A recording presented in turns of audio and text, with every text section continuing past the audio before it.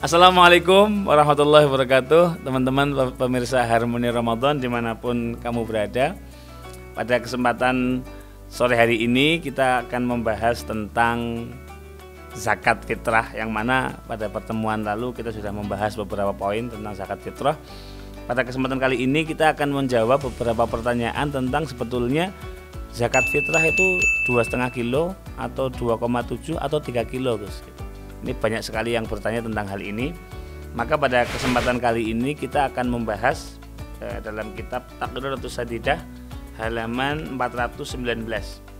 Dikatakan wal wajibu fiha yang wajib dalam zakat fitrah ini adalah so'un, satu sok. Ini sok nih.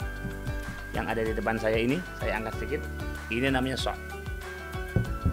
So'un an kulli syahsin, setiap orang, setiap jiwa saya misal punya empat anak maka saya satu sok anak saya satu sok begitu. Eh, setiap jiwa satu sok. Ai arbaatu amdad empat mudnya nabi. Ini mud.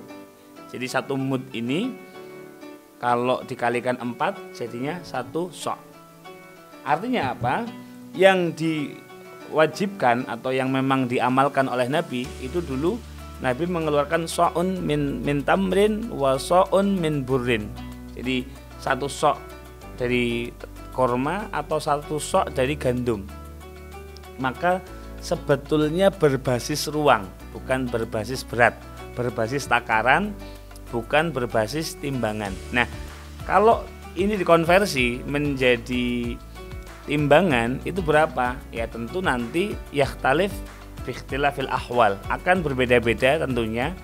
Misal sederhananya begini teman-teman kalau teman-teman memasukkan satu sok ini dengan beras, ternyata kadar berasnya masih mengandung banyak air. Misal karena baru dipanen, belum lama di lumbung, maka otomatis akan lebih berat e, secara timbangannya. Tetapi sama-sama satu sok, kalau berasnya kering, sudah lama di lumbung misal, sudah tidak banyak mengandung air misal, maka otomatis kadar beratnya juga menjadi lebih ringan. Oleh karena itu, eh, di sinilah akan terjadi perbedaan. Sebetulnya kalau satu sok ini dikonversi menjadi kilogram berapa? Ada yang berpendapat eh, 2,5, tapi itu zaman dulu ketika beras itu perputarannya tidak secepat hari ini. Maka eh, ulama-ulama kontemporer kebanyakan kebanyakan wahwa mayusawi halian kurang lebih e, sama dengan 2,75 kg takriban. Nah, bahkan di takliknya dikatakan wabak duhum ya gul. Bahkan ulama-ulama yang lain mengatakan salah satu kiloyat atau 3 kg takriban. Fal afdol al ihtiyat. Maka yang lebih afdol itu adalah disempurnakan 3 kg sekaligus. Kenapa? Karena kalau sampai kurang itu nanti bisa nggak sah, tapi kalau lebih itu pasti sah. Nah, lebih aman lagi teman-teman. Teman-teman e, menggunakan sok. Bisa dibeli di marketplace sudah banyak. Apa teman-teman kalau ada e, saudaranya umroh misal bisa beli aja soknya ini kemudian ditakar pakai sok. Setiap ada zakat fitrah kita bisa menggunakan ini. Kalau teman-teman nggak sempet beli aja. Rasnya NH promosi ya. Nah ala kulihal yang ingin kita tekankan di sini adalah e, perbedaan konversi itu e, bersumber pada karena memang yang digunakan Nabi zaman dulu itu berbasis ruang, berbasis takaran, bukan berbasis timbangan. Maka e, ketika satu sok dikonversi menjadi kilo, tadi saya katakan akan berbeda-beda sesuai dengan kondisi berasnya. Semakin masih banyak kadar airnya, otomatis semakin berat. Semakin kering, maka semakin ringan. Termasuk mood teman-teman sekalian. Teman-teman yang uh, punya orang tua mungkin sudah sangat sepuh tidak bisa puasa maka wajib membayar fidyah. Fidyahnya ini menggunakan mood. Ini ini uh, bentuknya.